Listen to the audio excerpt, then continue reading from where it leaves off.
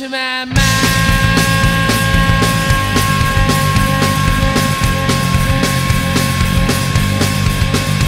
And I don't know exactly why, cause I've forgotten how to live. No